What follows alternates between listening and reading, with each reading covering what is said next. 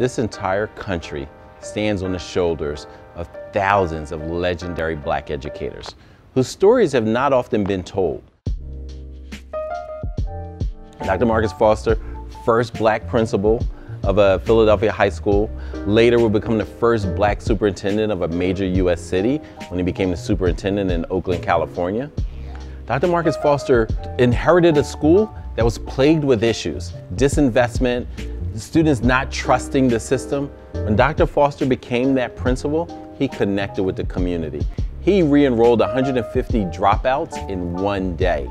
And within a week, over 250 youth had re-enrolled in school. Why? Because this black educator was leading that turnaround effort. When I began to turn around my first school, I tried to model some of my work off of what I saw in Dr. Marcus Foster's work at Gratz High School. While he had Go for Gratz, I had one that was much longer, but it was the same sentiment. Shaw will succeed. We are fabulous indeed and our students had a sense of purpose.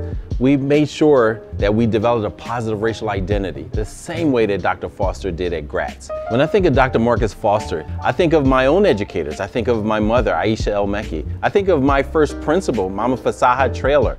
I think of Mama Shakur and Mama Renee, my elementary school teachers.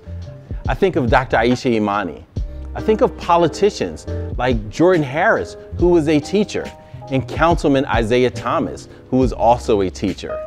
Dr. Marcus Foster was the first black superintendent of a major US city, but we have so many that followed them.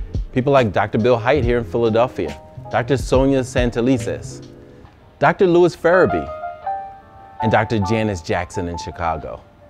They can all trace their lineage to the great Dr. Marcus Foster.